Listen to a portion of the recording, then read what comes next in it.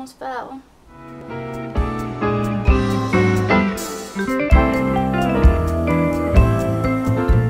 Hey guys, so today I'm just gonna be showing you guys how to do um, a lip scrub at home just using a couple of things that I'm pretty sure you have in your kitchen.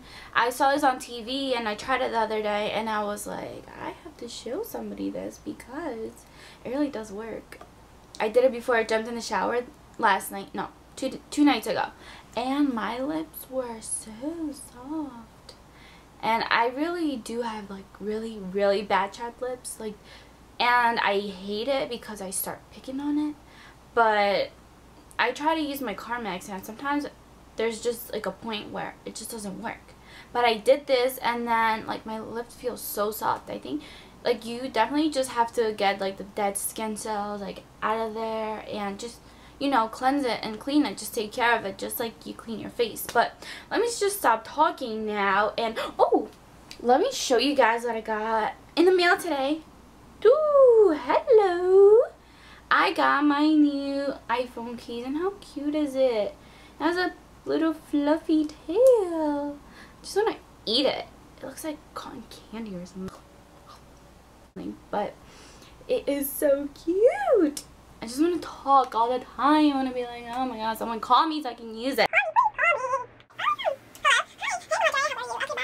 But no, no one's calling me because no one loves me. But okay, let's get started. I'm just stop talking. Okay, so first thing we're gonna need is gonna be brown sugar, and then some honey and some extra virgin olive oil, or any olive oil is fine.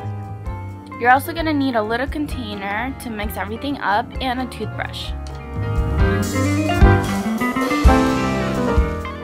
Okay, so start mixing all your three products together in a little container. Here I'm taking the brown sugar and just putting a little bit of it, not that much, in the little pink cup.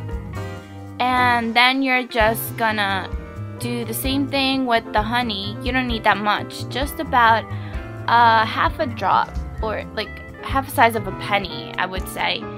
And then do the same for the olive oil. You don't need that much. You're just gonna use that as a moisturizer so it can keep your lips nice and soft. Okay so now you're gonna take your toothbrush and you're gonna start mixing everything together until you get a little paste.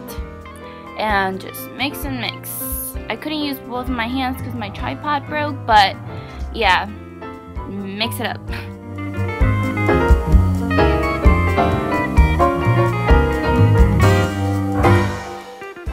Okay, so now you're to take a little bit on the toothbrush and you are going to start putting that little paste that we made on your lips.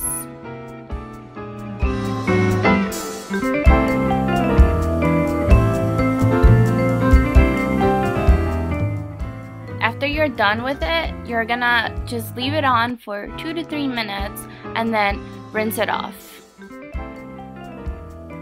Okay, I forgot to film this part, but I put some chapstick on and then I put my lipstick on. I put on some Carmex, by the way, my favorite chapstick. And now you're all done with your soft lips. See you guys later.